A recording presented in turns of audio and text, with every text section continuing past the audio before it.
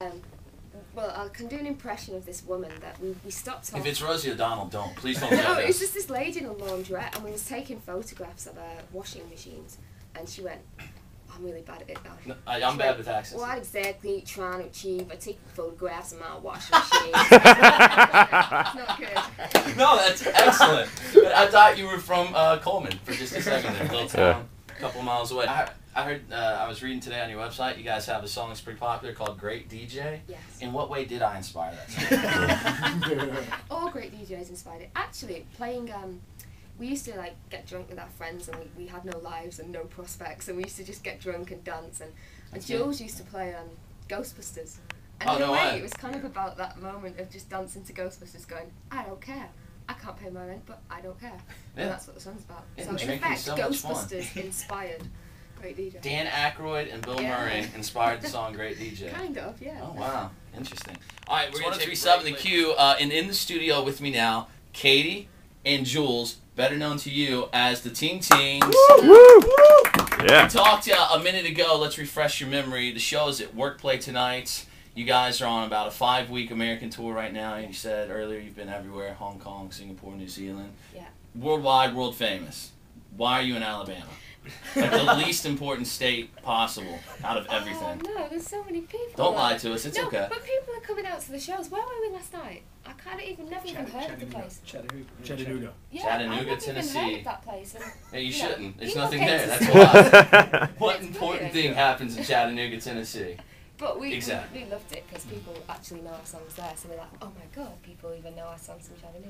Let me ask you this: Do you find American crowds boring? And don't lie, because I've seen like Robbie Williams videos, Oasis videos, and you guys in England, you guys do these massive concerts, which is awesome. Hundreds of thousands of people that will all jump at the same time. Yeah. You come here, everybody's fat. We stand and look at the ceiling. We don't know what we're doing. Yeah, but you never played a show in Japan, have you? We No. love Japan, but they are the oddest crowds. They like Do they just clap in stand still? unison. No, they go nuts. They like run around in circles and clap in perfect time. And the Ah. second you finish the song, tumbleweed. It's almost like there's a conductor that's going, and stop. Oh, well, yeah, it's called their government. yeah. they tell them exactly what they can and can't do. You can only clap twice during this And song. it is like that, and you do anything with your hand and they follow, but the second Really? the song's over, it is complete silence. Huh. So, yeah, American crowds are good. In it, if anything, they're quite loud American crowds. They're kind of, They're all drunk. yeah, they shout things at you. Like, they'll go, you know, mid song, they'll go, Jules, where'd you get your sneakers from? And we're Yeah. like, that's a bit inappropriate, but it's fun.